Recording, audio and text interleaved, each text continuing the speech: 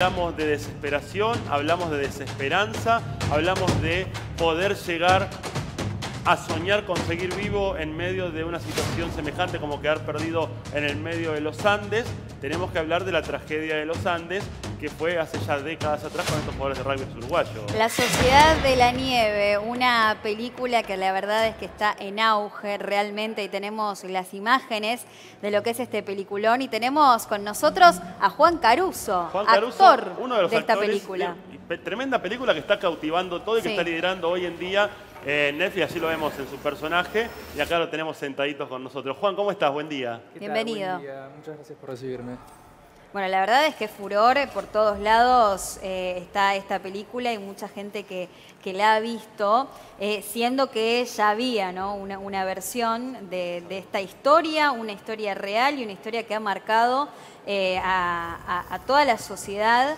Eh, ¿Cómo fue primero encarar a este personaje? ¿Vos a quién, a quién eh, caracte- Yo interpreto a Álvaro Mangino, soy un sobreviviente de la tragedia o el milagro, como quieran llamarle. eh, y encarar este proyecto, al principio fue difícil y un desafío para todos porque cada uno interpretaba a una persona que existe o existió. Claro, es algo que sucedió en la realidad. Es algo que sucedió y también es, es difícil como actor también, eh, un desafío también como hacer algo que no podés llegar a, saber cómo, cómo es la, la soledad, la desesperanza, estar solo, abandonado por el mundo. Eh, el rodaje fue en España y estuvimos allá durante siete meses. Eh, y bueno, el rodaje por sí fue, fue durísimo, fue mucho frío, ¿Dónde, de dónde fue? Sierra Nevada, Sierra Nevada. sí, el sur de España. Eh, en la preparación de la película, a mí me gustan siempre las historias de, de vida y conmovedoras, Sí. porque calculo que para llegar a filmar la película primero se deben haber encontrado ustedes con los protagonistas y con las personas que les tocó interpretar. Sí, sí, nosotros fuimos todos a Uruguay, Sí. pues son todos uruguayos, y cada uno conoció a su respectivo persona que interpretaba. Eh, los chicos que interpretan a personas fallecidas eh, los conocieron a las familias, a los amigos, al entorno de los fallecidos, eh, y, y cada uno estableció una relación con ¿Qué es ellos. más difícil interpretar?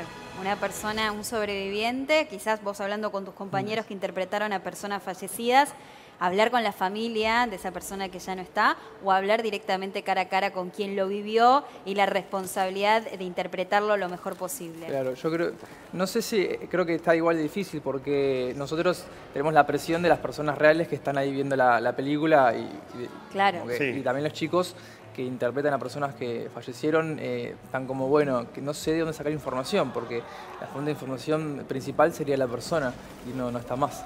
Entonces se, se saca de donde se puede.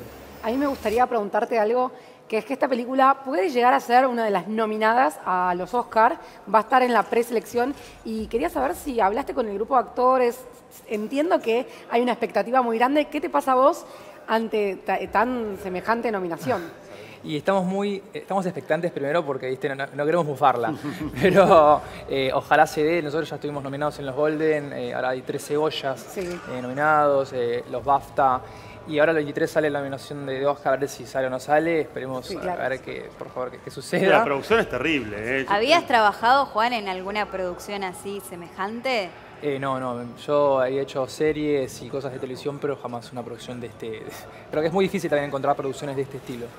Digo, cuando hablamos de, de esta mega producción, porque es una mega producción realmente, eh, uno tiene, eh, cuando hablamos de esta historia, tiene en, en la mente muy grabado la película Viven, ¿no? Era todo un desafío también, porque ante, ante algo tan cinematográfico, porque también tiene lo, lo hollywoodense y tiene también todo aquello de, de- de lo comercial, Viven, hacer una historia contada de la forma en la cual fue contada, también quizás con más detalles de lo que fue eh, la historia de Viven, eh, o cómo fue contada en Viven, digo, también era todo un desafío para ustedes, porque tenés que lograr superar o al menos igualar aquella gran historia, ¿no? Sí, se buscó principalmente respetar y ser leal a la historia, ser leal a las personas eh, que les sucedió y ellos estuvieron siempre como al, eh, al tanto de todo, ayudándonos a- con información. Y también lo principalmente, y creo que es el mensaje de la película, es darle voz a las personas que no volvieron. Eh, porque se habla mucho de los héroes que volvieron de la montaña, pero no se habla de los héroes que se quedaron y dieron su vida también por, por, por los demás. ¿Quién la tuvo más difícil para actuar, para, no sé, las locaciones? Eh, y yo creo que eh, los chicos Nando y Canesa, porque tuvieron que ir hasta los Andes también a, a- a escalar y, y- al lugar donde sucedió, fueron a, donde estuvieron andando en Canasa de Verdad hace 50 años y, y tuvieron que hacer toda esa travesía para, para el rescate. O sea, la imagen que se ve en la película, eh, que van haciendo el recorrido y que van caminando por el medio de, los Andes, ¿eso se filmó en los Andes? Eso se filmó en los Andes. Es durísimo, ¿eh? Y a vos, Juan, particularmente, ¿qué fue lo más duro que te tocó enfrentar, ya sea física o emocionalmente, mentalmente, a la hora de, filmar esto? Y eh, emocional, de todo, o sea, uno pone el cuerpo y lo puso y nosotros, viste, bajamos muchísimo de peso, yo bajé 17 kilos. Eh, lo más duro que nos tocó rodar fue el alud, la avalancha, que nosotros estábamos en condiciones técnicas y, y actorales muy, muy fuertes, mucha presión, estábamos congelados, nos enfermamos. Eh. Ah, eso lo vivieron ustedes en carne propia, más allá de todo, digamos. Porque viste que uno cuando ve estas imágenes, por ahí cree, bueno, fue grabado en un estudio, que hoy en día todo se puede lograr, grabado en un estudio, con nieve artificial, en, un, estudio de, 4x4 y te parece que están en el medio de la nada, en el medio de una montaña. Y no, esto, se pusieron cuerpo y alma ustedes también en el lugar. Sí, el rodaje fue en la montaña. todo lo que se ve afuera, estábamos en el medio de la montaña, nosotros para ir al set teníamos que viajar una hora en una track gigante que iba aplacando la nieve iba rodeando montañas hasta llegar y teníamos horas de maquillaje, vestuario, peluquería, era, era una preparación todos los días eh, muy fuerte. ¿Cómo se logra en los cambios climáticos? Porque vos decías, recién estuvimos siete meses allá grabando. Pero digo, eh, hay meses, en esos siete meses, eh, todas, las, todas las temporadas, ¿no? Verano, invierno. Digo, ¿había nieve todo el tiempo allí o en algún momento tuvieron que, grabar algún otro tipo de escena? Y dependía mucho del clima, por eso había tres sets. Por eso había estudio, había un set en la montaña y otro en el campo que podía asimilar, ¿viste? Pero eh, hemos pasado por todas las, situaciones climáticas, hemos tenido hasta calima. Eh, Calima es cuando viene la arena juntada con la nieve y caía y era estaba todo amarillo y era, era, muy fuerte. Digo, eh, primero que eh, es totalmente conmocionante la película. Yo a aquellos que no la vieron les recomiendo que la vean. Eh, la emoción que me generó, la emoción que me generó, ver escenas principalmente de los que ya no están. Y esto tiene mucho que ver con lo que decías vos, Juan, recién.